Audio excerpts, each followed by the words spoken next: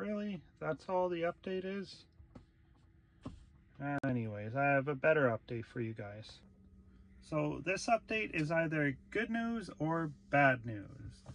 The, the new base color of the Tesla is going to be the gray and the white is now an extra cost of $1,300 both for the Model Y and the Model 3. So if you're thinking of ordering Model Y or a 3, gray is now the new base color model and my light just turned off and white is extra. So if you wanted a white car, you'll probably have to look at inventory, see if there's something there, see if you can get that at the basic cost. If not, you're gonna have to just go ahead and pay the extra 1300 bucks to have the white paint.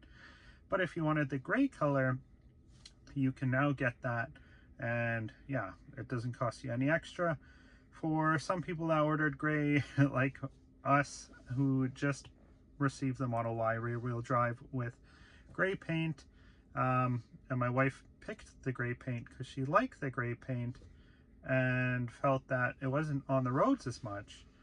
But now it's going to be on the roads everywhere, so my wife will have to deal with that, but that's okay.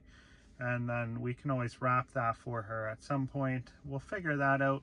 But the gray is a stunning color. It looks great. So it is nice that it is going to be a base color. I think um, and there are some new mods coming for the Model Y rear wheel drive coming soon for our car so stay tuned to the channel I'm going to be working with some new brands to do some cool projects with that car as well as the Model 3 here so there's uh, also some upgrades going to be happening on this car so you're going to want to stay tuned to the channel my name is David Aquila have a great rest of your day. Make sure to subscribe and like this video. Share it with all your friends.